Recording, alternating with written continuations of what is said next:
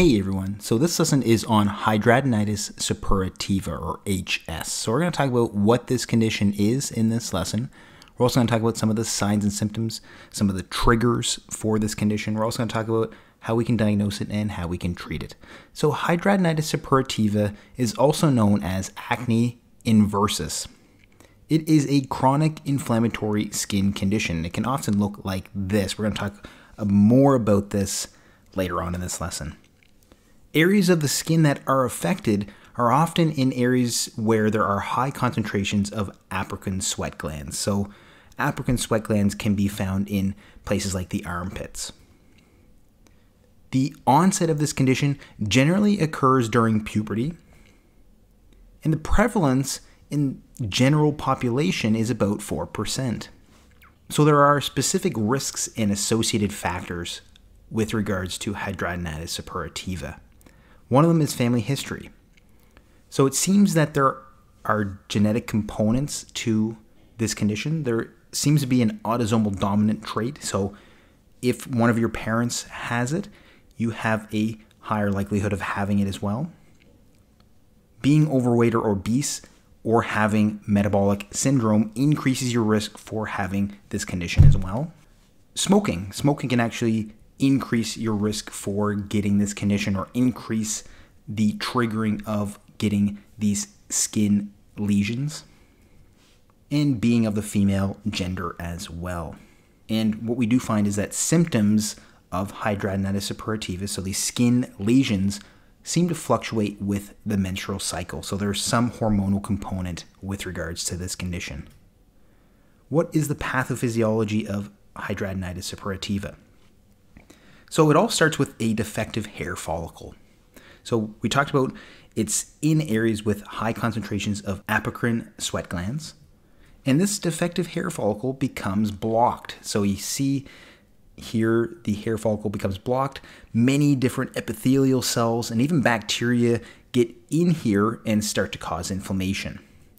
And what happens is the follicle can rupture and can lead to surrounding inflammation. You can have recruitment of immune cells, so white blood cells can come into the area.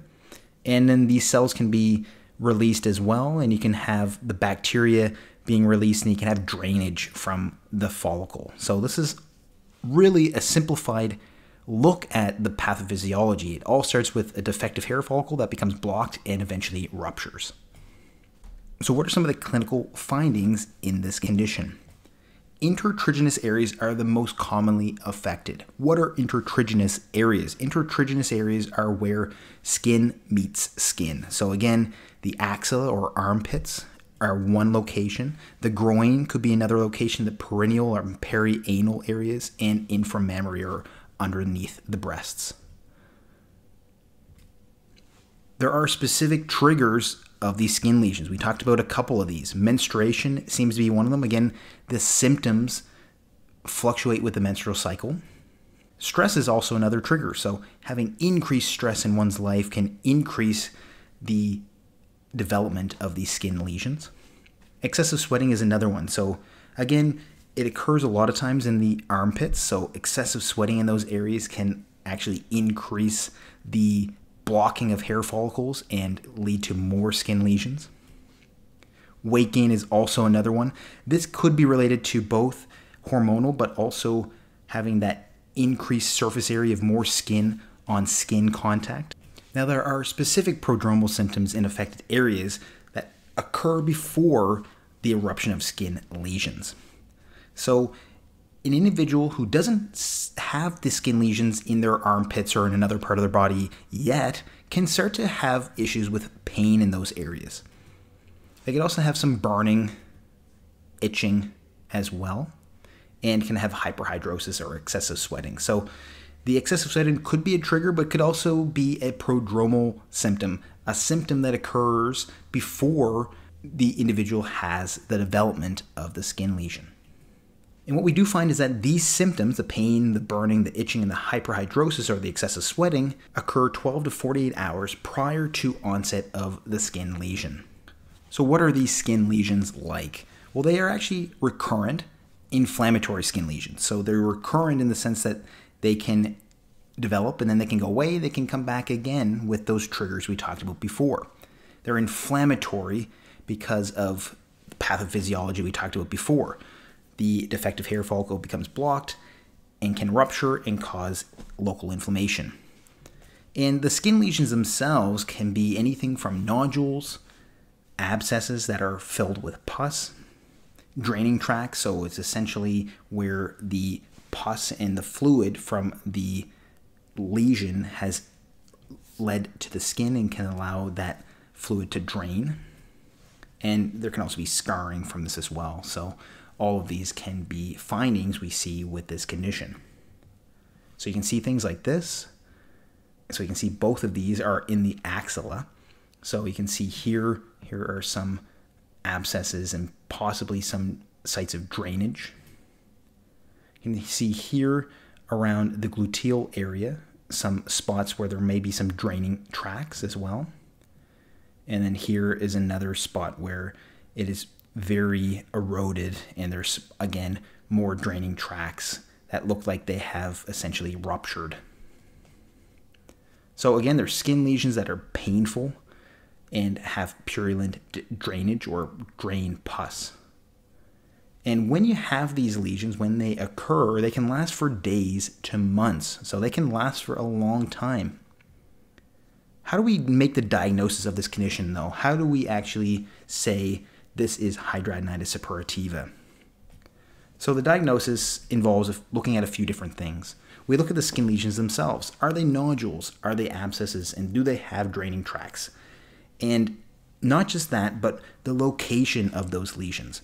So we see that there are nodules, abscesses, or draining tracts, and then we see them in intertriginous areas. So that is basically making us very suspicious that this is hidradenitis suppurativa. And then when we look at the symptoms over time, do these skin lesions relapse and are they chronic? So are they recurrent? Do they develop in the armpits of an individual and then go away, but then come back again with possibly one of those triggers we talked about before? So looking at these three categories skin lesions, the type of skin lesions, the location of those lesions, and then the symptoms over time. If we have those three, that very much helps us make the diagnosis of this condition. When we've made the diagnosis, how do we treat it?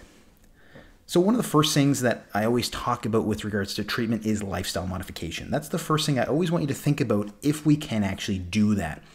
So, what can we do with regards to lifestyle modification in hidradenitis suppurativa. So one of the things we can do is weight loss. So we talked about this before. Weight gain seems to be a trigger for the skin lesions in this condition. And we also talked about being overweight, obese, and having metabolic syndrome is an associated risk for having hidradenitis suppurativa. So perhaps losing weight will reduce your risk of having recurrent skin lesions from this condition. So, weight loss and smoking cessation are already great things. So, these can also possibly help you reduce your risk for getting these recurrent skin lesions in hidradenitis suppurativa. Some of the other treatments include topical antibiotics. We often use clindamycin. If they don't work, we can move on to systemic antibiotics like tetracyclines.